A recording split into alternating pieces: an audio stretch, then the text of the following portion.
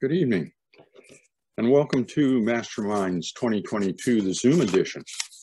Uh, to begin, and on behalf of uh, Masterminds and this evening's presenter, I want to acknowledge with respect the Lekwungen speaking peoples on whose unceded territories the University of Victoria stands, and the Esquimalt, Songhees, and Saanich peoples with whom we share this wonderful place on the earth.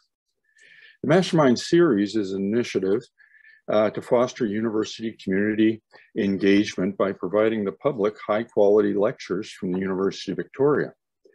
The series began in 2007 uh, and since that time has presented over 60 thoughtful and thought-provoking lectures uh, during that time. Tonight's will certainly add to that record of excellence. The Mastermind series is comprised of four lectures, one on each evening in April. Each lecture is created and delivered by the University of Victoria retiree on a topic of their expertise and of general community interest. Each year, the series is developed by a collaboration of the University uh, of Victoria's Retirees Association, the Institute on Aging and Lifelong Health, and the university's Media Relations and Public Affairs Group and I should mention Leah Potter, who is uh, behind the scenes running the show this evening, uh, is plays a pivotal role in the development and delivery of this series. And as you no doubt realize, uh, we're into a Zoom format. Um, it used to be before the pandemic, uh, live lectures on campus, uh, but the Zoom seems to be working out fairly well. Just a few words on the Zoom format. Um, your audio will be muted, uh, but questions can be asked, submitted rather, I guess you'd say, uh, uh, on Zoom. If you go down to the bottom of your screen, your Zoom screen, and just to the right of center, there's a Q&A uh, icon. And if you click on that, you can, you can uh, type in your question and they will be uh, answered at the end of the presentation. Uh, this event is being recorded uh, and will be posted on YouTube and uploaded to the websites of the uh, Institute on Aging and Lifelong Health and the Retirees Association. And now to the presentation.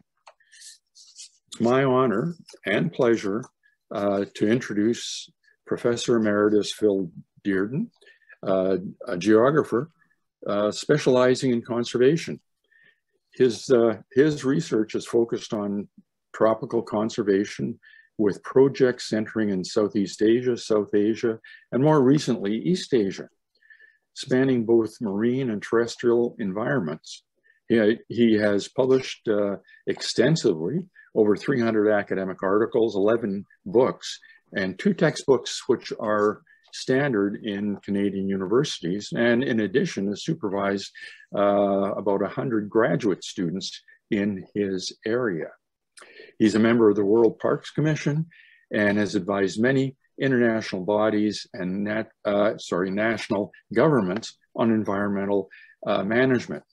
On top of all this, he is a sailor and a gardener uh, living on Salt Spring Island. The uh, Community-based conservation, his topic this evening, uh, offers great opportunities for not only uh, countering biodiversity loss, but also helping improve net rural communities' living standards and sustainability. And this is pretty topical given the report that came out this week uh, on uh, uh, the climate crisis. His presentation uh, weaves a narrative of uh, field case studies from Southeast Asia that illustrate some of the challenges and opportunities of community-based conservation, emphasizing the need to take geographical approach based on understanding communities, their needs, aspirations, and environment on an individual base rather than a philosophical mantra. Dr. Dearden, over to you. Thank you so much, John. Um, just let me get clicked in here.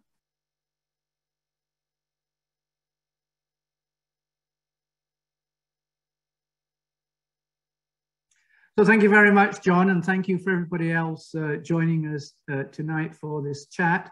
And thanks to Leah for doing her backstopping of this and uh, making sure that things are going to work okay. So as John said, tonight I'm going to talk about my last 40 years of research uh, based almost exclusively in the tropics, talking about community conservation. Uh, but first, I want to start with a acknowledgement um, of territory where I'm speaking from. I respectfully acknowledge that I live and am talking to you tonight from Salt Spring Island within the ancestral and unceded traditional territory of the Coast Salish people. This is particularly important for my topic tonight because it's understanding the past, present, and future contributions of Indigenous people uh, to conservation that I think holds the main key for our hope for the future. And so this is a very um, appropriate um, acknowledgement.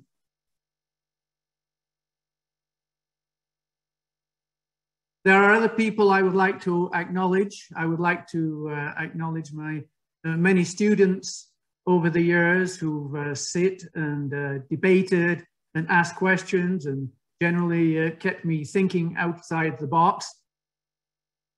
I've often mused that um, the university system really has got it down that, uh, that they pay us, come and sit to listen to us, but actually I should be paying them uh, so that they would come and listen to me. So I'm very grateful for the, for the system that allows this to happen.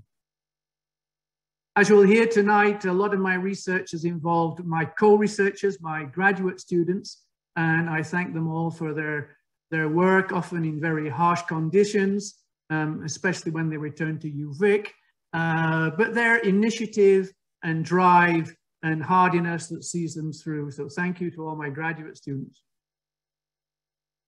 I'd like to thank geography, firstly as a discipline because tonight I'm talking about real people uh, and real situations on the ground. I'm talking about place. And geography is the study of place. And it's the study of how places change over time. So I, I like to thank and acknowledge my disciplinary heritage uh, for that perspective, as well as the Department of Geography at University, uh, the University of Victoria and some of my mentors there, especially Mike Edgell, Colin Wood, and Derek Sewell, who were very influential uh, in, in my early years at UVic. I'd also like to thank UVic, which provided a very convivial um, environment over the years for my, uh, my work, for my studies, and for my students. We have had many community partners ranging from China through to Mexico, uh, but mostly in Southeast Asia, South, uh, South Asia and Africa, and I'd like to thank them for their uh, cooperation and again, their initiative and what we have learned from them. And finally, I'd like to thank my family uh, for their encouragement, uh, for the times that uh, I have gone away and for the many, many times that they have come with me together and the many adventures that we have shared during the course of our research.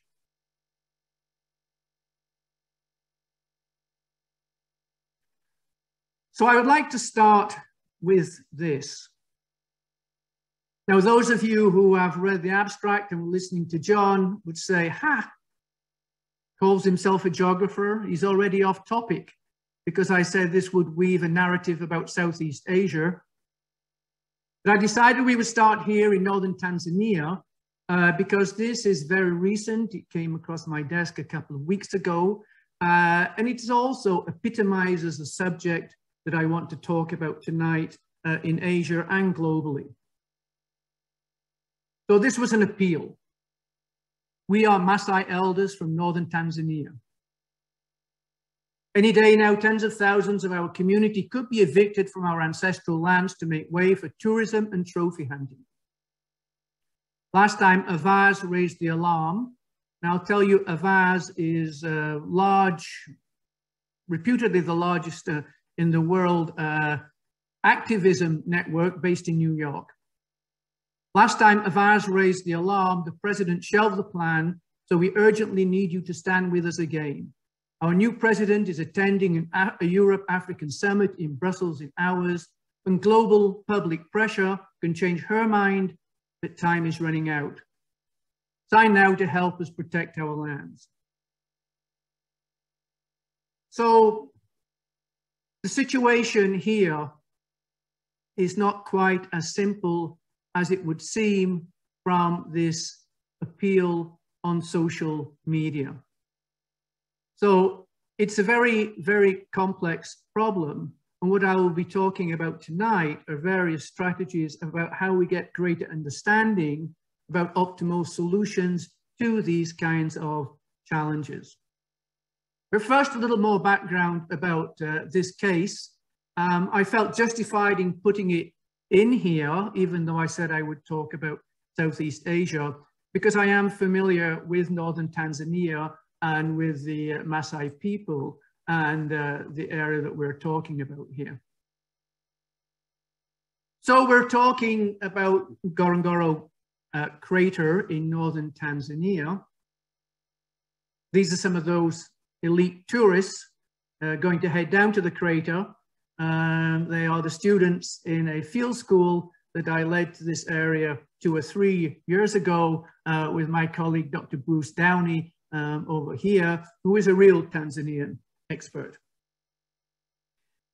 So Ngorongoro crater is perhaps the epitome of global uh, terrestrial large mammal diversity that we have. And so it has been recognized for this and is a World Heritage Site. And I think you'll be familiar uh, with most of the characters, the Thomson's gazelle, uh, the zebra, the lion, uh, many, many species to be found down in this crater. It is a World Heritage Site. It was created in 1959 and not as a national park. It was created as an area where the human inhabitants and the animals could live in some kind of symbiosis. Now, the Maasai, are, this is not really their ancestral territory. Um, it was the Datoga and the Hazadi who first settled these lands and were uh, the dominant people here up to about 200 years ago. But since that time, it has been dominated by the Maasai pastoralists. And this seemed like an ideal arrangement because unlike many of the other ethnic groups uh, in East Africa, they do not eat wildlife. They do not kill wildlife. They do not poach wildlife. So they are livestock pastoralists. And so this seemed like an ideal arrangement. When the agreement was signed for this multiple land use, there were 8,000 Maasai in the area and about 160,000 livestock. By the year 2020, that had grown to uh, 117,000 Maasai, from 8,000 to 117,000, and from, uh, and from 116,000 wildlife up to 800,000 wildlife, uh, wild livestock. So you can see that the numbers had changed drastically in this period. And the Maasai have one of the highest birth rates in the world, about 3.5%. Uh, so this has created a real conflict in this area and a conflict that is uh, not amenable to simple solutions. It's a conflict that has to be studied closely and with, uh, with, with great um, attention to detail. Now, the government, looking at this problem, commissioned this report undertaken by uh, Tanzanian uh, academics and scientists, and they put forward five um, options.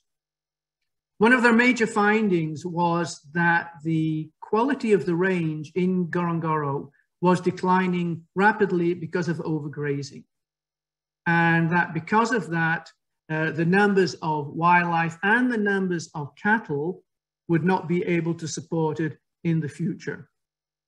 So in fact, the people are getting poorer in the crater and the wildlife is getting poorer and in lower numbers in the crater. So this model did not seem to be working. So they put forward five options and the government has elected to go with a middle option. And the middle option is to increase the size of the protected area, to expand the area and try to spread the people out into a larger area and provide protection for wildlife over a larger area. So it's a complicated, uh, very complicated problem, but it does epitomize many of the challenges uh, that we are facing in the world today. And that's what I want to talk about. And I will come back to this uh, problem later on. So this is really symptomatic of the silent extinction. Here it's talking about uh, giraffes. The numbers of giraffes have fallen by 40% over the last uh, 30 years. And one of the main reasons is, uh, as it says here, people moving into giraffe areas and, uh, and displacing the animals. So who would think that the giraffe uh, would become extinct? So you can look at this as the big squeeze.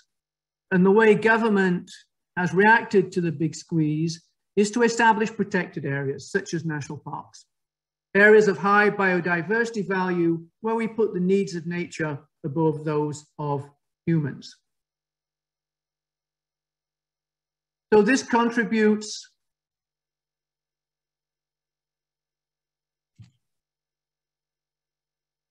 to the overall challenge of global extinction.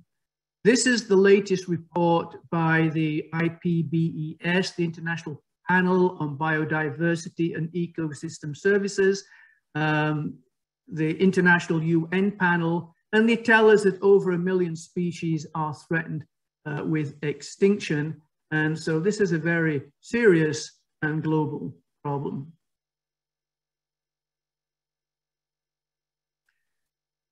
So I'm going to provide some context for this problem and how we think about it by reference to this diagram. So if you look at the top right-hand corner, biosphere people, e ecosystem people. So this categorization was something that I borrowed from an American conservationist, Ray Dasmann, um, that he wrote a paper on maybe 35, 40 years ago. And Dasmann said, he said, there are two main kinds of people on this world.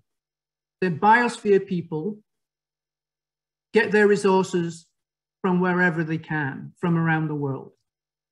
When they exhaust one area, they go to another area. When they exhaust that, they go to another area. We are the biosphere people. He said, in contrast, we have ecosystem people. The ecosystem people get their goods, services, livelihoods from the ecosystem that they live in. If they don't take care of that ecosystem, then there are direct repercussions for their livelihoods, for their future, for their children and their children's children. So they tend to take care of what they're doing within there. So the biosphere people, in other words, us, the kinds of things that we do means that we have high ecosystem impacts, which means that in the lands that we use, biodiversity tends to be low. So as biosphere people began to realize that uh, a good proportion of the world was no longer in a natural condition, they started to think that maybe something should be protected. And so they started looking around for areas that were not uh, ruined by our own activities. And so to find those areas, they had to go over to the lands of the ecosystem people because they were the people where there was low impacts and still high biodiversity. So in a geographical sense, in space, we went across here and created parks in the lands of the ecosystem people. Now, there are two challenges to this. Uh, that's the geographical context, but the time context. Ecosystem people are not frozen in time. They are not in a museum. they also want some of the benefits of development that we enjoy. And so in time, their impacts are increasing and they are gradually coming down the scale towards being biosphere people. At the same time as we run out of areas to exploit, we are squeezing this land base up here further and further into the lands of the ecosystem people. So this is the big squeeze that's happening upon the land base. So what to do? So the biosphere people seeing this, seeing their parks starting to change, starting to see these high impacts, said to their governments, because governments work for biosphere people, they said, we got to get those people out of there. We got to relocate those people. They're ruining our parks. On the other hand, advocates for the ecosystem people, such as NGOs, said, you know, you've only got those parks because we know what we're doing. We looked after our lands. That's why the ecosystem impacts alone.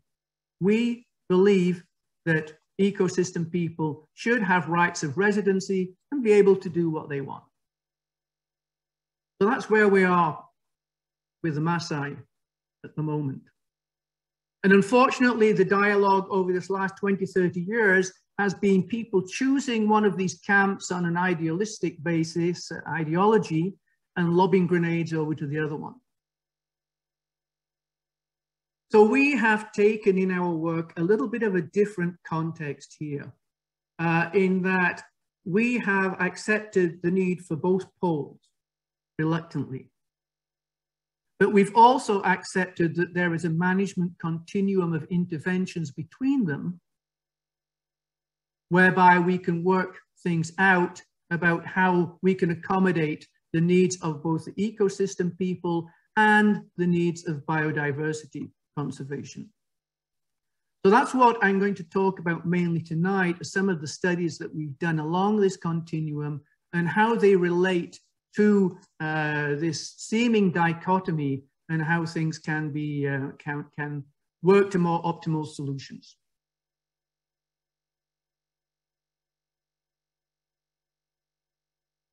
So I said I would talk mainly about Southeast Asia. So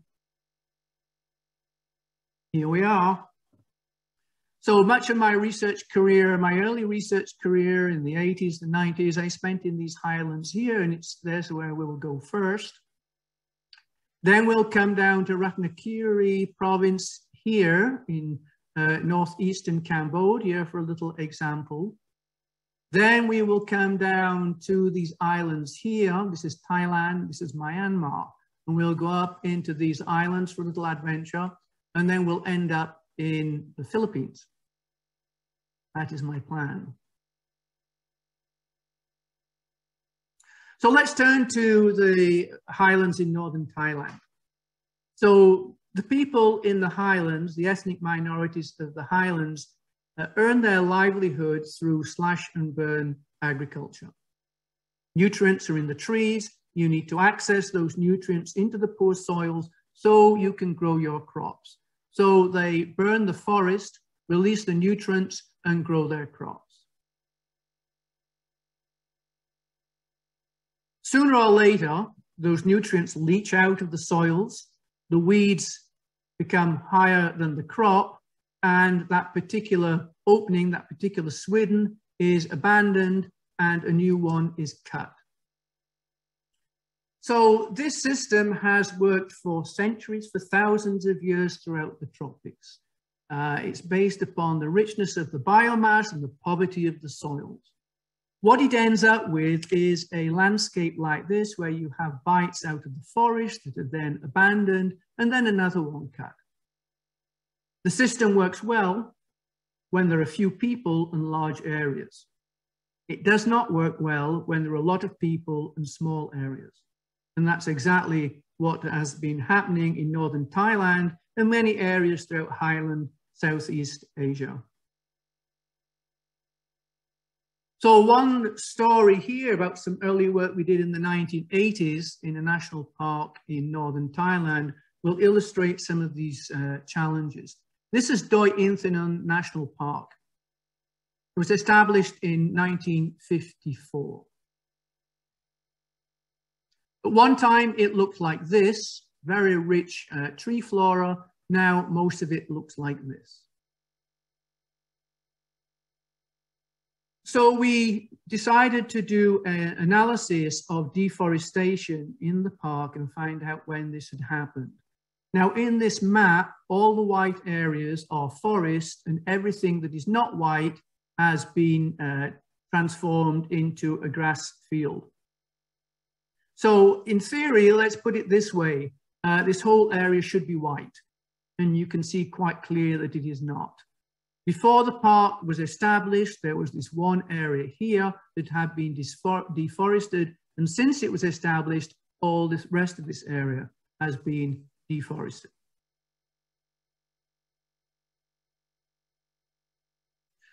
So this deforestation after the park was created is very similar to the pressures that are happening now in, in Ngorongoro crater. And it's not just these two case studies. This very recent IUCN study says this is what's happening through the world. Most of these uh, pressures are occurring after the protected area was designated. And it gives you how much um, going from low pressure to intense human pressure category after the area was, uh, was designated. So a global problem. But let's look at some of the details. So in Doi there are two main ethnic groups. Uh, these are the settlement of one of the ethnic groups, the Karen people. And you can see in this, uh, in this uh, slide here that this is not just cut and run Swidden agriculture. They have invested considerable energy in creating uh, terraces for wet rice. And in fact, this village was created in the park before the park was created. So it's important to understand the people, their history, their livelihoods, and their impacts. The Karen people are very conservation minded and they're also very community oriented. They take many decisions as a community as a whole rather than individual families or just the headman. So this is different from the other main ethnic group there, the Hmong, uh, and the Hmong are primary Swiddeners, which means they prefer to cut down primary forest. Now, where most of the primary forest has gone, the only places left are the, uh, the national parks. And this park was particularly hard hit because it was encouraged um, due to opium replacement. So, but they have a very different philosophy on life uh, than the Karen do. And if you're working with these different groups, you've got to understand the kinds of motivations that they have. But one common motivation is poverty. So the household surveys that we did showed that in total, 37%, um, almost 50% of the people had insufficient money. If you have to raise a loan, you can't go to the bank here. The bank is the local money lender and the local money lender has very high rates of interest. To pay that back, the only source of uh, possible wealth that they can get is to cut down more forest and more animals. And so poverty is a main driver um, of this degradation of the forest here.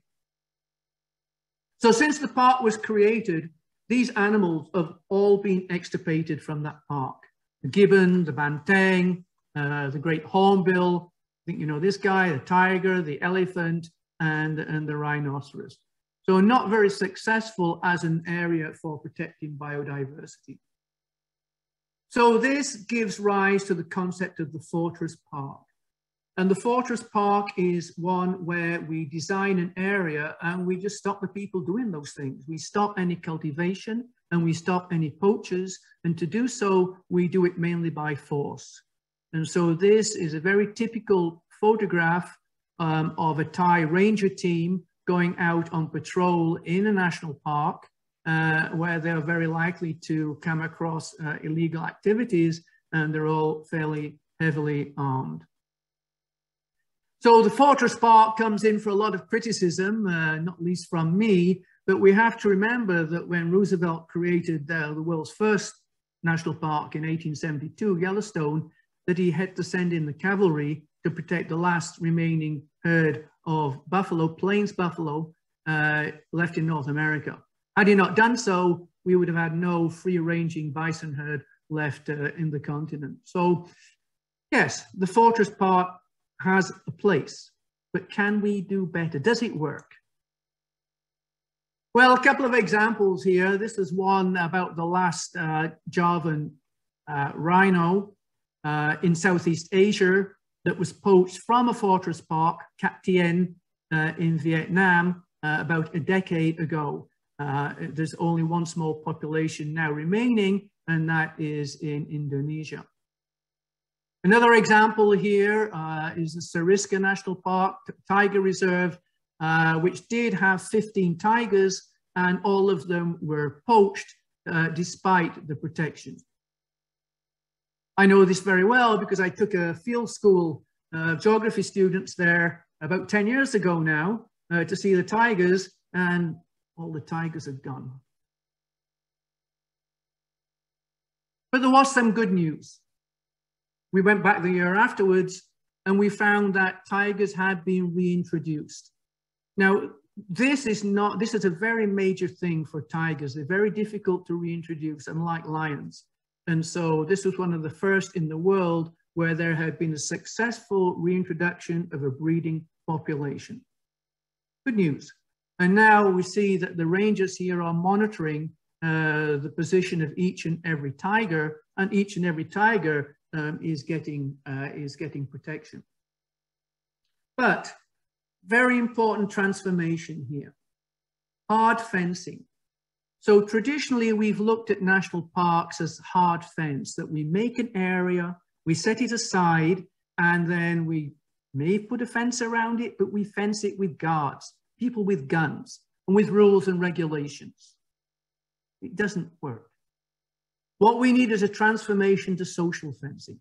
And social fencing is where the people themselves that surround the park feel sufficiently strongly about the values of the park that they support it themselves. They provide a social sense fence to go around that park rather than the guns of the park agency. So much of the work that I'm going to talk about is how do we move hard fencing to social fencing? And in this particular case, uh, in Sariska, there was also some relocation. Relocation uh, doesn't sound good, but it should do. I've said to many park agencies, when you are relocating, you have to have communities that were standing waving at you saying, let it be me, let it be me, because you're giving them the best deal you possibly can. You're not moving them to marginal lands. You're not moving where there's no support for them. You're giving them very good land and lots of support for a long time. But often they don't do that.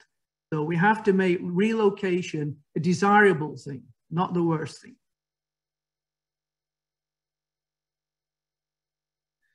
So let's skip from there to quick trip to Cambodia, Virachey National Park, um, which was being formed by the Cambodian government with the support of the World Bank. And there was interest in knowing what to do with the indigenous people in the area. And so the indigenous people are the Brau people. And the Brau people live deep in the forest. It's very inaccessible. That's why I showed going up the river. There are no roads uh, to get in there.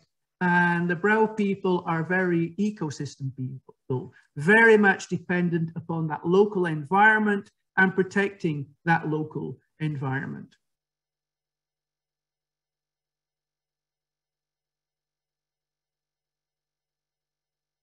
Uh, but they are, did I lose a slide there? No. But they are slash and burn agriculturalists. Uh, they make their living the same way as the Northern Thai people do and many other people, but their openings are not that large and they don't cut them very often and the population is very low. But they also have other attractions to the forest that they live in. So for example, these are pine trees and they tap them for resin every year. And the pine trees are owned in a lineage by a family within the community. And so what we see here is sustainable tapping of a pine tree that will happen every year, Forest as Guardian community, uh, Forest as Garden, community as guardians, because this is a sustainable activity and the people protect these trees. If they're not there, this is what happens. The tree gets burnt by a casual passerby, by a poacher, it gets overburnt and may in fact die from this wound. And so it's people looking after and protecting the forest here. But they said we can't do it all. For example, there are some very valuable nuts there called malva nuts. And uh, when a tree comes with these nuts, it's worth a lot of money. And if a poacher is coming into that forest and he finds a malva nut tree, he's likely to cut it down just to get the malva nuts and get out of there. Obviously not a very sustainable activity. And they pointed this out as something where they would like some support in being guardians. And so what we found in this case was that it was a very enlightened community about the rights and responsibilities, what they could offer and the support that they needed. And they had a very forward looking and intelligent uh, leader uh, who was very instrumental in developing a conservation ethic amongst the, uh, the Brau people. So these are some of the kinds of generic factors that we look at when we are considering uh, the rights of communities. For example, time. When was the community, how long has the community been in that area? Is it old? Is it pre-protected area? Or is it a new one that was created after the park was created? Why was it created? Is it created to support people in their livelihoods or is it created to produce a coffee plantation for one of the rich local politicians? And what's the impact? Is it low or are they having a big impact on the flora and fauna? So if communities are over here, then they're likely to get a very good hearing about the kinds of things that can be done uh, in terms of their existence in the forest. So let's change from the ecosystem people over there and switch over to the west coast of Thailand, the Andaman Sea coast. And we are going to talk about some of these islands here and then go up to Myanmar. So these islands here, such as Mu Ko Surin Marine National Park, uh, some of the most beautiful in the world, uh, and they also have some of the best coral.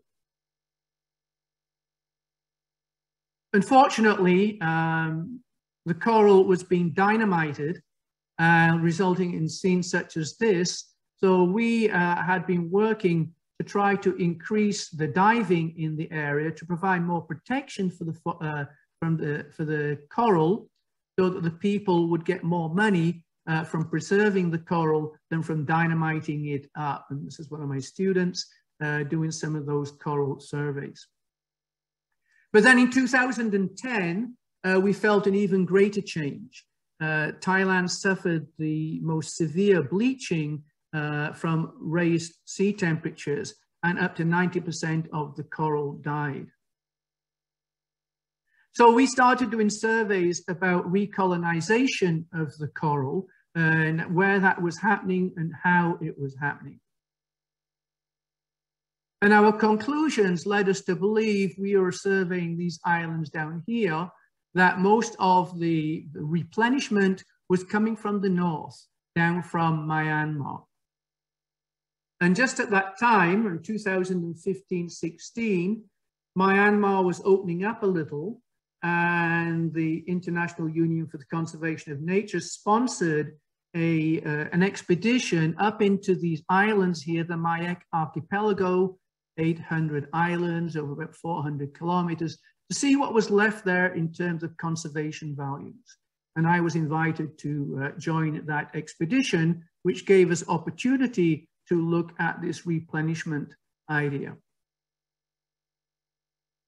Well, we found replenishment, we found corals, and we were very happy at that. uh, we found fish, but only small ones. And in particular, we found uh, no sharks, which was a big surprise since we used to go diving up here 10 years before, and there were many sharks, and we saw very few uh, parrotfish.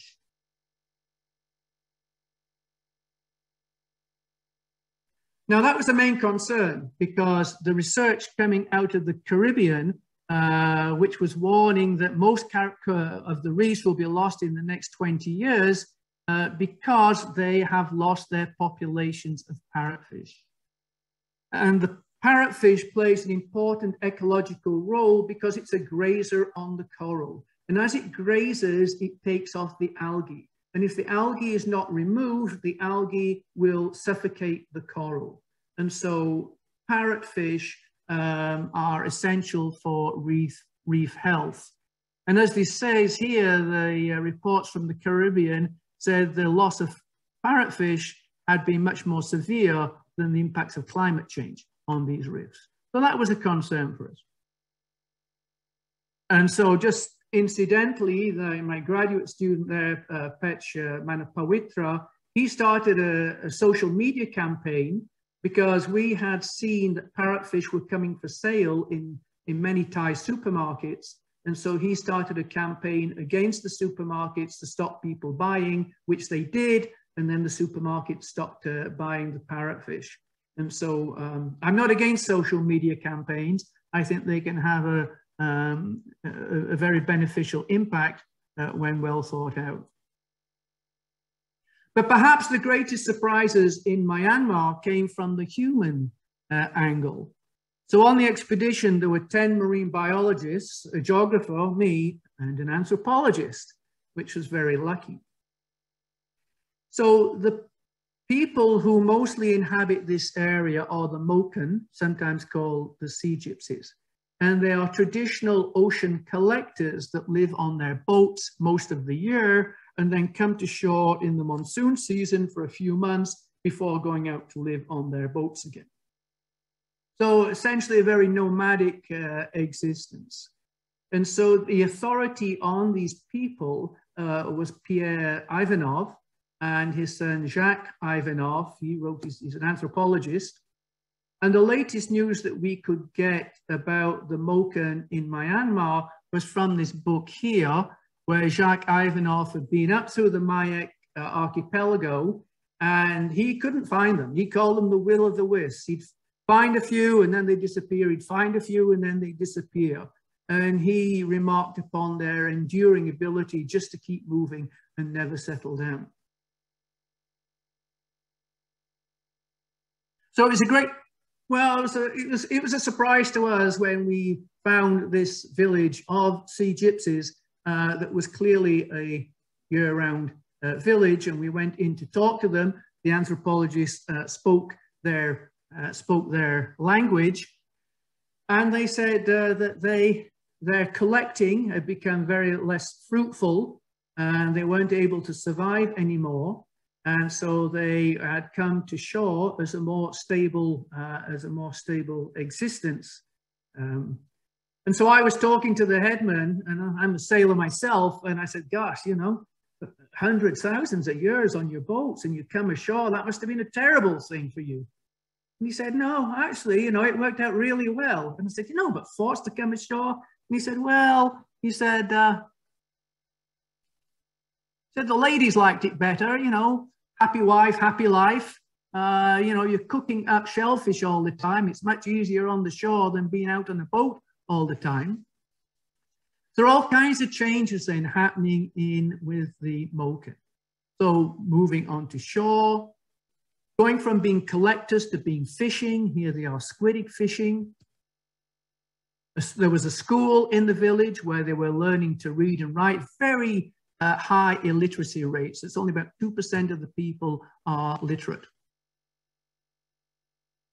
Uh, influences, religious influences from outside, they are traditionally animist, but now a Thai monastery has created a missionary station uh, right next to the village. And missionaries of a different kind. The headman has a generator and he has a dish now and he's bringing in television. This is their supermarket, uh, mainly things for chewing betel, but also some modern things to put them in the mainstream. But our greatest surprise was this photograph. And the village was very pleased, uh, very proud with this photograph. It was the photograph of a girl who'd gone to the mainland and gone to school, to high school, and graduated and gone on to college and was going to come back to be a teacher. And we talked about this, and it turned out that she was, in fact, of mixed parentage between the Sea Gypsies and the Karen people. He said, What? The Karen people? No, no, the Karen people live in the highlands. Remember, I talked about those when we started this talk. The Karen people live up here in the highlands. And what had happened is the Karen people, Highland people, they had got tired of the fighting uh, between their armies and the, the military government in Yangon, and a couple of villages had moved out onto these islands. So we have these two cultures uh, coming together um, in space that you would never think about, one settling down and the other moving down this uh, mountain chain into the same area. So we asked where the Karen village was, and we were told, and we went to visit it. It was a large, prosperous village. And we said, wow, this looks pretty good. said, what do people do for a living? We talked to the school teacher. And she said, uh, well, they fish. We said, okay, what kind of fishing do they do? And she said, well, they're spear fishermen.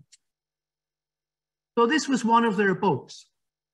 So um, this is the engine. This is an air compressor.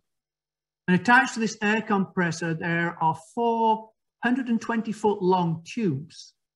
And what the Karen have learned from the Moken, some of the world's greatest deep divers of the Moken free diving, but the Karen uh, use these tubes to go down on the reefs at night to go spearfishing and there's no helmet, none of that stuff. You just have a tube of air and you breathe it in, turn it over and fish and then throw it out. You can imagine there are very high mortality rates. we said, okay. But next day when we were leaving, uh, when we got far from the village, we happened to run into where one of these boats had rendezvoused uh, with a fish trader's boat. And there we saw all the missing parrotfish. All the fish that we weren't seeing on the reefs were being caught by the Karen spearfishers. So one of the things that the, the way that the parrotfish uh, sleeps is they blow a mucus bubble around themselves and go to sleep on the reef at night. If you go down there on the reef at night, they're all asleep there. Uh, you've got your air, they have a long steel pole and they just go and they take all the parrotfish off the reef. Now, they're not reading the literature, the scientific literature from the Caribbean telling about the impacts on the reef of the, of the parrotfish. They have no idea. But they did tell us that the catches were getting much reduced now. And so, well, what to do? Well, you can't, again, you can't tell just people to stop. You have to talk about some of the strategies. Um, and we talked about various scenarios, what could happen. We talked about alternative livelihoods. I'm going to talk about in a little while some of these things and about value chains. Most of the lobsters in Thailand have already been eaten, but you could catch lobsters up there that the fishermen got 50 cents for and they were taken down to Phuket where you could get one for $80.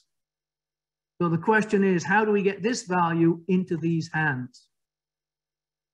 And there's also room for a lot of capacity building, uh, very low literacy levels. Uh, following this, I, I, wrote some letters and to the NGO that's advising the government.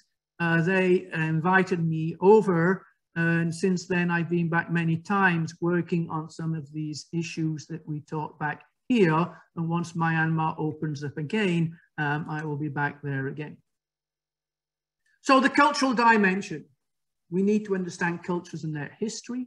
But we also need to understand that things change. The slash and burn agriculture system ground to a halt. The marine collecting and hunting of the Moken ground to a halt and they had to change. We also have to understand that people change. People move. The Karen came down from the highlands to the islands. People stopped moving. The Moken people settled onto land. So adaptability is good, but market-led changes often not optimal for sustainable futures. Developing sustainable livelihoods is key for effective conservation.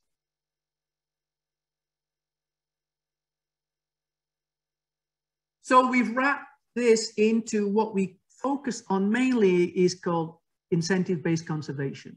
And I borrowed this uh, diagram from the PhD of one of my very good graduate students, Jackie Ziegler, who put this into a, a format here where we can see that by providing incentives for conservation, what we hope to do is change attitudes of the people to support conservation, that will change behaviors of those people, and that will lead to positive ecological conservation outcomes. So I'm just going to talk briefly about some of these things and getting us down to here. Particularly, I think I'm going to talk about tourism because it's been one of our main foci. So ecotourism, I'll run briefly through this. Uh, it's one of the most maligned and greenwashed terms we come across. I'll just give you these characteristics. It has to be nature-based. We shouldn't be doing any tourism that is non-sustainable. So it has to be sustainable Ecotourism must go one step further. It's not just sustainable, it must have a positive benefit on conservation. And unless you can determine what that conservation is, that benefit is, it's not ecotourism. It must be educational, where people learn more about the environment, and it must also be ethical. So this is an example from the African companies increasing lion populations, some of the communities in the Philippines, um, from giant clams through to whale sharks, uh, something that we have worked on in some depths. So our goal in our whale shark program is to stop whale sharks having their fins sliced off to go into restaurants and become more used for ecotourism purposes where they can generate more money than they could down here. So Jackie has led many of these studies, including this one in the largest whale shark tourism spot on the globe. And this is in uh, Cebu Island in the Philippines. It's different from all the others, in eh, most of the others, in that it is um, a guaranteed opportunity to see whale sharks. You go, you will see. And you will see because they feed them. So this happened because Oslob was a small fishing village where they used to set their nets at night and the whale sharks would swim offshore. They would come through their nets and destroy their nets. So some of the fishermen uh, would be deployed to throw rocks and try to keep the whale sharks away from their nets. Then they discovered that they could actually lead the whale sharks away from the nets by feeding them with shrimp and the kinds of things that they normally eat. So they started leading them away. Then a dive resort owner over in the further down the coast said, do you think we could lead them down here a little bit? And they said, sure. So they got the idea of feeding the whale sharks and leading them around and making sure that they stayed so people can see them. And that's what these people are doing here. This guy in this panga here is feeding the whale shark, and these people are hanging on to this other panga and watching the whale shark through the water. So we did a lot of studies on this, all the economics and everything, but one of the things that most interested us was this, that see the paddle coming down here? This is from the fisherman in the panga who is feeding the whale shark. And the whale shark is swimming along behind the panga. He's paddling away like this, but he's also got his foot on the whale shark to stop him overtipping the panga. This is a big change because they have gone from things that come in the night and break down your nets to something that you've got a tactile connection with in the water. And that suddenly doesn't become a whale shark, it becomes George. Where's George? Has anybody seen George today? There becomes a personal uh, connection with these animals in the water, uh, and whether you like the feeding or not, uh, it signifies a change in attitude towards uh, fishing, extractive industries, the ocean, all kinds of things. So we've done quite a bit of work on how ecotourism, whale shark ecotourism, and also uh, marine protected areas, how over time they develop more intrinsic motions, uh, motivations for conservation, which is where you want to be because they are more resilient than extrinsic motivations. When COVID comes and tourists can no longer come, if it's an extrinsic motivation for money, then they're going to go back to exploitative material uh, actions. But if it's an intrinsic motivation, they're going to keep going. So we try to generate, understand how those happen. Now, ecotourism is not a panacea. Uh, there are challenges all through, and I'm not going to go uh, into depth on these. Um, there are problems with management, and we have worked on some of these carrying capacity problems. And we found this around the world where ecotourism can be oversold. But it's not a panacea, but it can, where well managed, uh, create very significant conservation images. So I just have one final example, then a wrap up slide. So this is a study also in the Philippines by another one of my graduate students, Alessia Kockel, um, that was a, an exceptional piece of work working on the systematic, systematic design of marine protected area networks and trying to think about equity. And I'll explain to you what that is here. So systematic design of marine protected area network. So what we would do is we would undertake marine surveys and we would find out where the best seagrass, where the best coral, where the best mangrove was. And then we would try to devise a protective system that includes at least 20% of each one of these kinds of things in no-take areas. We would put all our results into a computer and it would spit out map after map after map saying, well, this would do it, this would do it, this would do it. Then we look at the various other things to see how our uh, MPA system might look. The problem is these are just biodiversity targets. There are no social targets in there. So the biodiversity optimum might be the worst for the people on the shore, but it doesn't give you that information. It might penalize one community, uh, totally shut it down, or one sector of the fishing community and leave others uh, untouched. And so what Alessia did, she supplemented these marine surveys uh, with social surveys in the communities, uh, participatory GIS workshops. She went to 98 communities and she had uh, one day workshops in them, uh, each in Southern Leyte in, uh, in the Philippines where they would tell what was the most important areas of the fishing for us to avoid in designating MPAs. Then she threw all the results into the algorithm and she showed that in fact uh, you could avoid the, uh, you, you, you could establish the most important areas for the biophysical uh, characteristics and also avoid the most important fishing areas if you had all this data. And so it's, um, it made us happy. So this is where we start uh, wrapping up because this puts us on this continuum here at the bottom. It shows us how these kinds of goals can in fact be managed uh, together.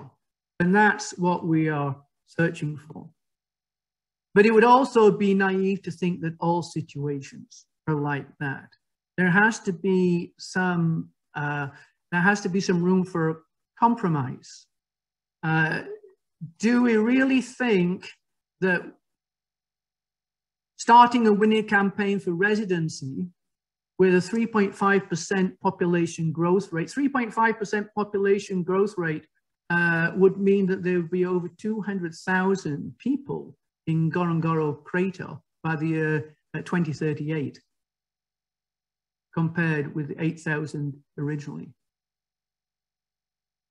So there's some tough choices to be made there. And um, one thing that we are engaged with is a project with Maasai people uh, further north than Ngorongoro, And they started conservation areas themselves and looking at management practices themselves. We didn't go there and said, you need to change. They already had this in mind and were starting to look at how they could do things differently. And in our project uh, with several members of the geography department, uh, we are working on those kinds of adjustments now and uh, contacting, connecting Maasai people with First Nations people here in Western Canada.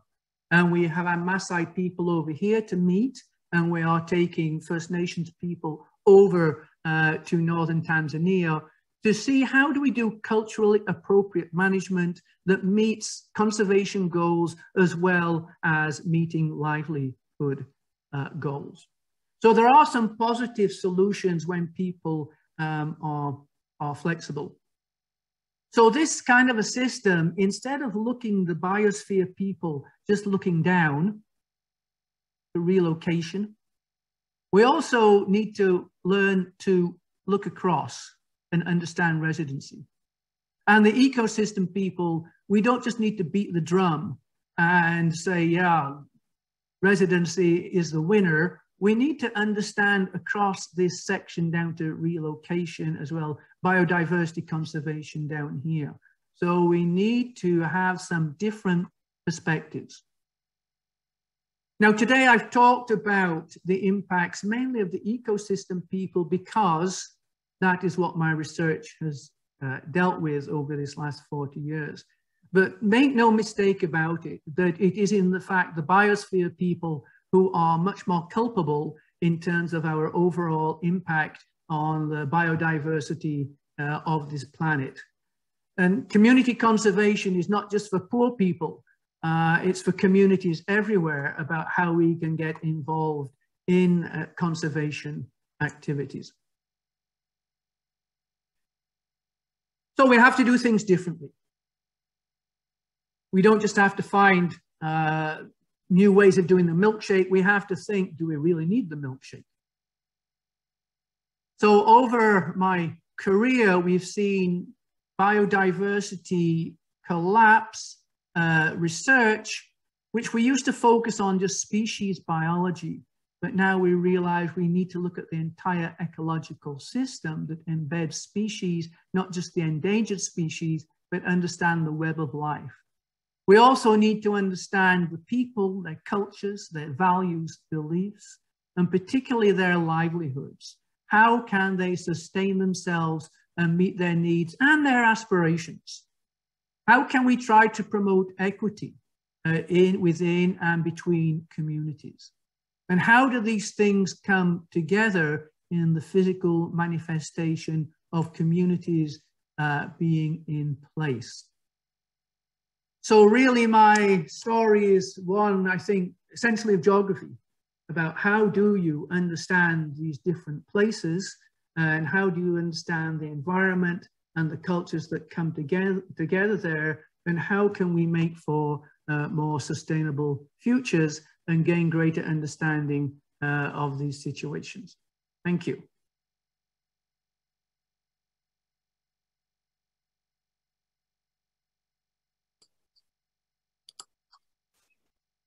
Well, thank you, Phil. That was that was an excellent presentation on a significant and pressing uh, set of issues. Uh, so thank you very much. And uh, we'll move on to some questions that have been submitted. Uh, one is in terms, you know, that model uh, you present with the ecosystem people and the biosphere people, uh, you present it as kind of like a loop, I think. Could it also be seen as, uh, like perhaps cynically, as kind of a drift?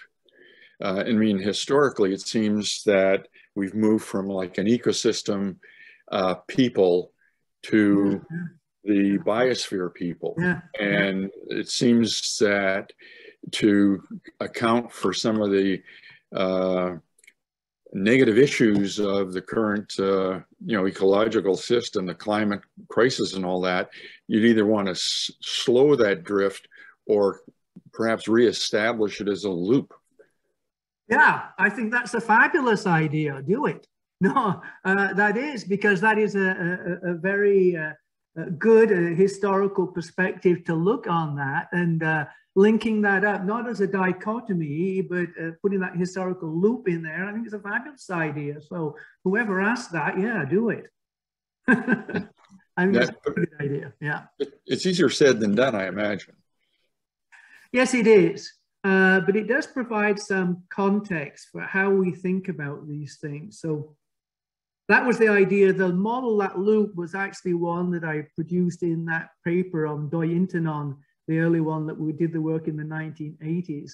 And so you know, it's 30 years old, uh, but it keeps coming back with resonance about how we can try to you know, get more flexibility in our thinking about how we deal with these problems and understand uh, you know, those impacts uh, that, that are coming forth. But I, I love that idea. Yeah.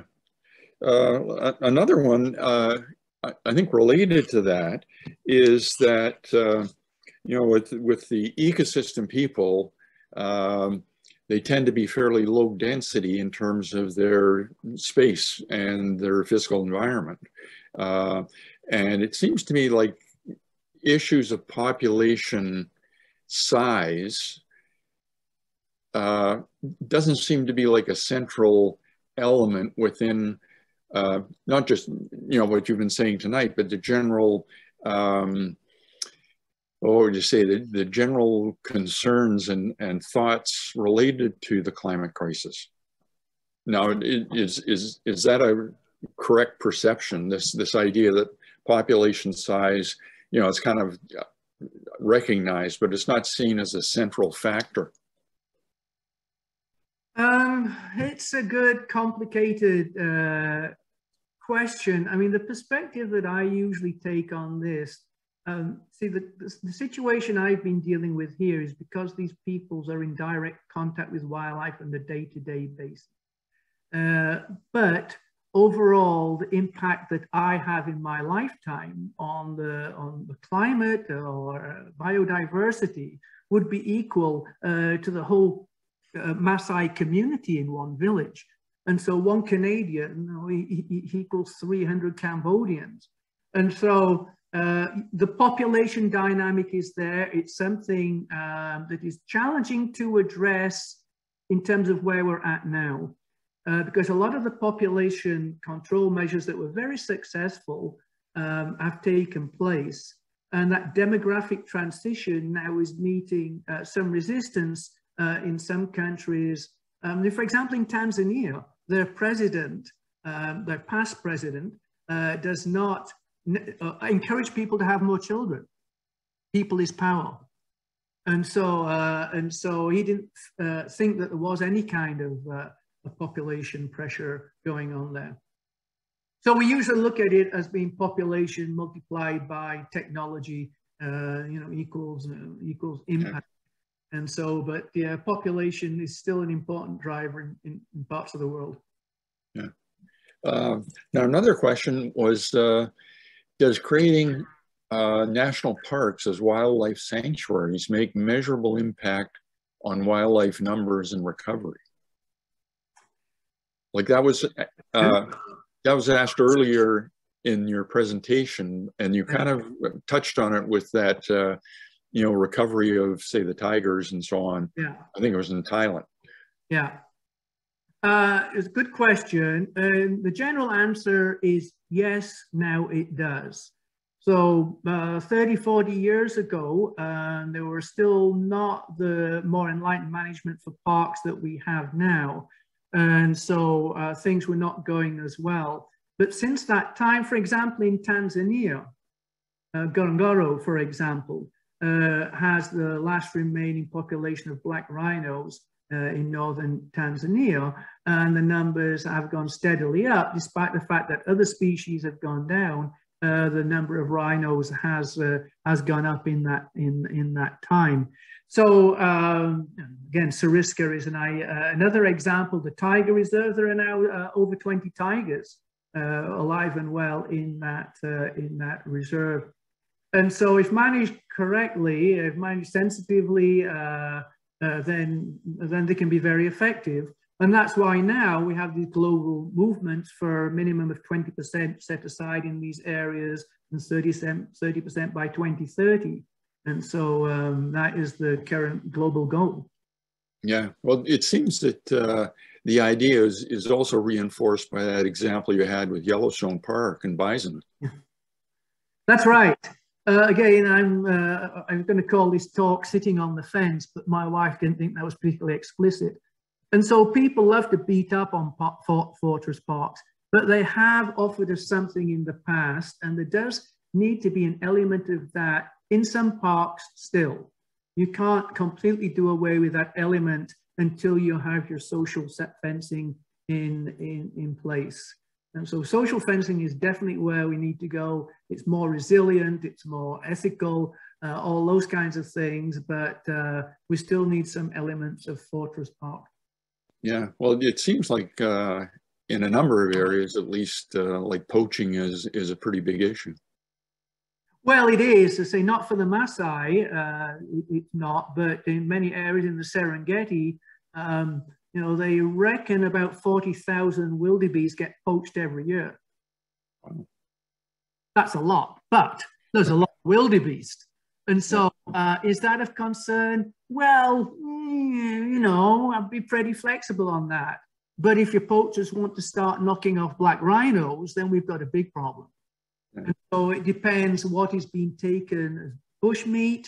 And in Thailand, you know, I've uh, often with park superintendents, uh, we've talked about taking what they're not supposed to hunt in the parks, but if they want to hunt certain species that are in, in, in good abundance, uh, then I think that helps bring value to the park and value to the people and doesn't threaten biodiversity. So you know, again, case by case basis.